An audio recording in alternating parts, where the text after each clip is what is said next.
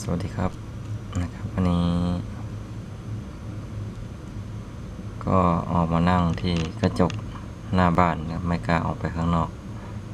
มานั่งมองสโนว์เลยหิมะตกกำลังตกอย่างหนักเลยนะครับ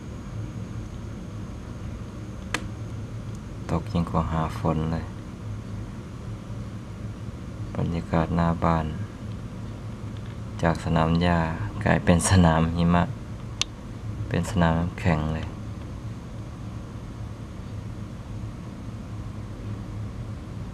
วันนี้ก็ตกทั้งวันนะครับ ตกหนักโดยตอนนี้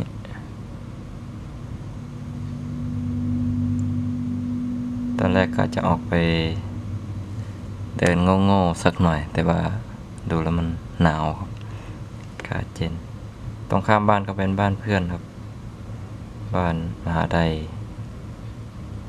ตรงนี้เป็นบ้านที่ส่งเสริมนะครับ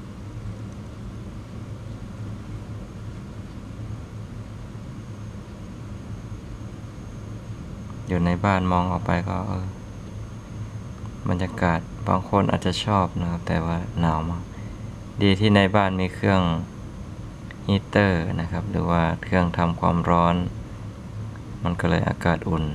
แต่ข้างนอกนี่อากาศติดลบเลยตอนนี้กำลังตกหนักเลยครับ มองไม่เห็น เดี๋ยวสักพักก็คงจะมีรถมาเกตถนนนะครับเพราะไม่งั้นนี่ขับรถลำบากมันลื่น แต่ดีที่เก็บรถไว้ในกระลาดนะครับ เป็นที่เก็บรถ ก็ตอนเย็นตื่นขึ้นมา ก็ไปนั่งไม่ต้องมาเสียเวลานั่งขูดรถอีกเขาขับไปทำงานได้เลย แต่คืนนี้ก็คงเดี๋ยวต้องหาผ้าคลุมรถไว้ เพราะที่ทำงานไม่มีที่จอดรถ ไม่มีที่แบบที่คุมหิมะนะครับนี่แหละครับชีวิตคน ไกลบ้านต่างบ้านต่างเมือง วันนี้หิมะลงหนักปีนี้ลงบ่อยครับ ปีนี้น่าจะตกเยอะกว่าทุกๆปีด้วยแต่ตกอย่างนี้ก็สักพักสักสองสามวันถ้าไม่มีตกมาเพิ่มอีกมันก็จะละลายไป มันดีตรงกว่าทางลัดทางเหนือ ทางตะวันออกนั่นแล้วในสโนว์ตกนี่บางทีเป็นเดือนยังไม่ละลายเลย ที่นี่สักสองสามวันก็ละลายกลายเป็นพื้นที่ปกติ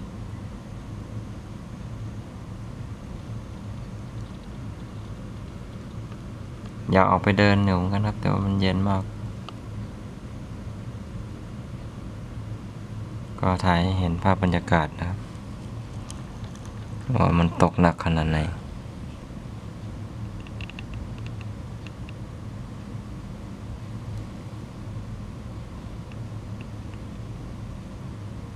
ตอนนี้ก็เวลาก็เกือบ8โมงเช้านะครับ ของวันอาทิตย์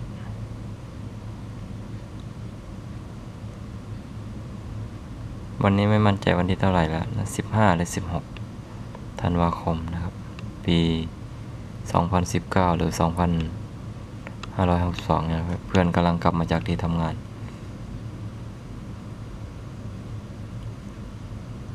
เพื่อนทำงานที่บริษัทผลิตพิซซ่าหรือโทนี่กำลังกลับมากำลังจอดรถที่บ้าน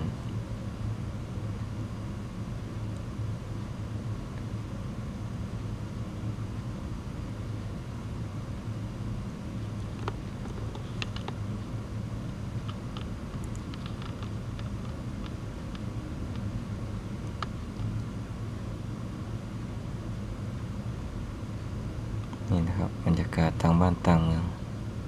โอเคครับ เดี๋ยวถ่ายทอดใหม่นะครับ